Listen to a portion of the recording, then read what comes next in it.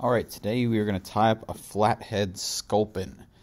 Now, for this, we are going to want to start with a stinger hook in the vise. I go with a two-tone marabou with a cream on the bottom and a lighter tan on top.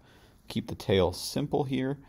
Uh, we then attach the tail here with some braided 15-pound uh, braid and wrap this back and forward so it's impossible to slip out. Keep it fairly short because you don't want this to, to false up.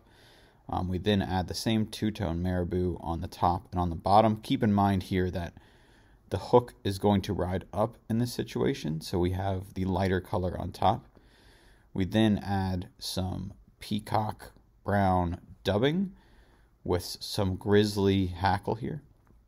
Wrap this forward and this acts as a bit of a guard to push back the next step of marabou and give the body a little bit more of a profile so the marabou doesn't fall on itself. Uh, we then add the same two-tone again. Um, last step here is to mix up some different type of bruiser blend dubbing. I do a gold and a brown mixed up together. These push out on the side to imitate the wide profile of a sculpin here. Finish it off with a head. And last step is cutting off that top hook to get the final sculpin product here.